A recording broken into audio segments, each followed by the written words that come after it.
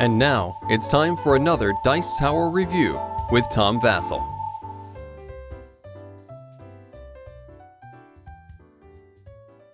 Welcome to the Dice Tower. Hi, I'm Tom Vasel, and this is Melody. Um, we're, you know, the the sense, the tactile sense that a human has is an impressive thing, and I know it's impressive because my dad used to yell when he stepped on Legos as he walked across the house at night, and now I yell when I step on Legos as I walk across the house at night.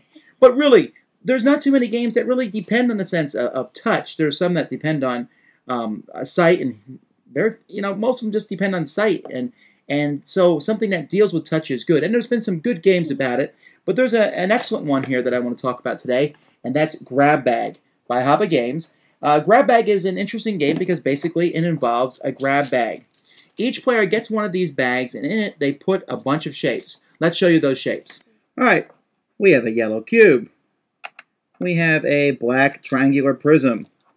We have a green something. It looks like a piece of bubble gum a brown moon, an orange pipe, a blue star or purple star, a red star, a slightly smaller, different shape, a purple bow tie, a blue disc, a green sphere, a white, well, Hershey Kiss, I guess, and a pink disc. These are all the pieces that are in there. They're very, very different and very easy to tell apart. Uh, you're not going to find much um, difficulty, you know, when you feel this, thinking what it is. It's pretty obvious. The only ones that might cause some problems are the two different stars or maybe the two different discs, but they're the discs have a different thickness and a different size, so they're very easy to tell apart. But this is what goes inside your bag. So the way the game is played is each player has a bag full of these different pieces, and you stick your hand in the bag, which is pretty easy for kids. I have a pretty giant hand, and I can still get mine in very easily. On the table itself is a pile of tokens with these pig shapes on them.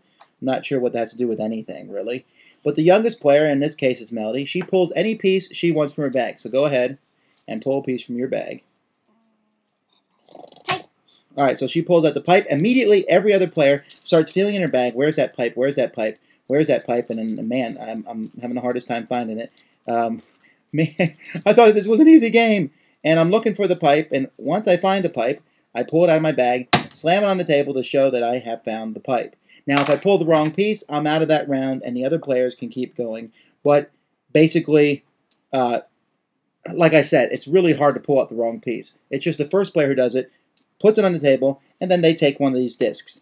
Then that person they pull the piece out of their bag, and everyone else looks for that. So that keeps one person from dominating because it means at least every other turn they will not be searching for a piece. They're the one picking the piece for people to find. And the kids like the fact that they can pick which piece to find. And that's one variant of the game. When it's over, whoever has the most of these pig tokens is the winner. Another variant of the game takes these pig tiles and turns them over. Each one of these tiles shows one of the pieces. Basically, it's very simple. You turn over a tile, and everybody searches for that piece, and the first person to find it wins. Now, that is a little bit more um, con confrontational, competitive, because in this game, one person can win because they can find all the pieces. I actually prefer the first one where one person finds it. But let's say you're playing with two players like Melody and I are. This would be really the only way for us to play. Um, we both turn over a tile. Let's try it right now. Okay, here's our bags. And uh, I won't look at it ahead of time. So ready? Here we go. And we need to find the bubblegum piece or what have you.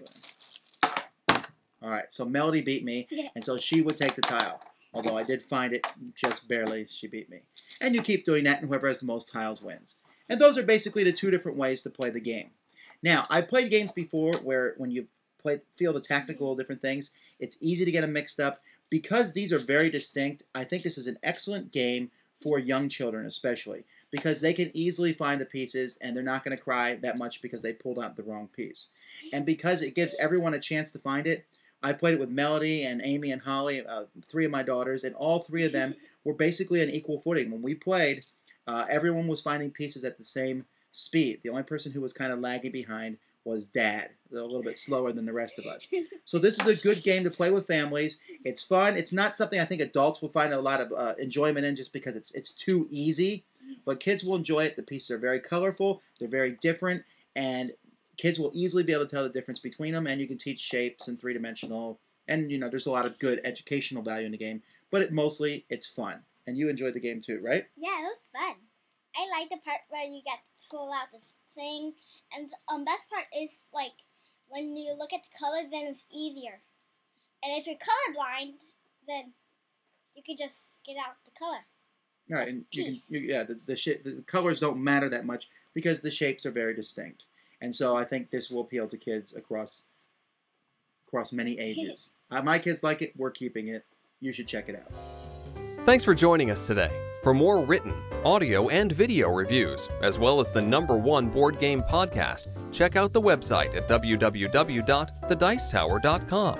Until then, this is Eric Summerer, and you've been watching The Dice Tower.